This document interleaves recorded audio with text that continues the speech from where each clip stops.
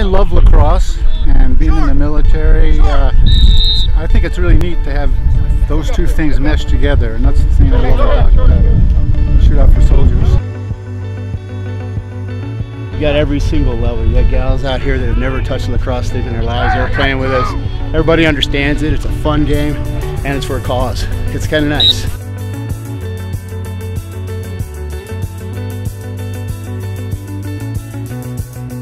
Three, one, two, three, shoot out! This is Shootout for Soldiers. Right now we're playing boys and it's a stick swap, so we have boy sticks and they have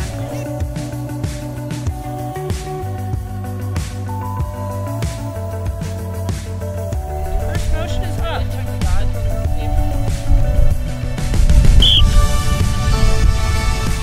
This game is just uh, uh, it honors vets, it honors military. So, and being part of the military, it just brings it kind of home. I'm half the size of everybody out there, so a little overwhelming but fun. Every single person on the team is so supportive and you immediately feel like you're you've known each other for a while. It's pretty incredible.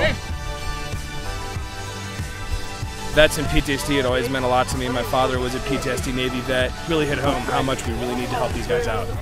Lacrosse population is a little bit sparser out here. It's a little bit more chill, but it's still just that great vibe of let's just come out here and play and have a good time. Stars on three. One, two, three, stars!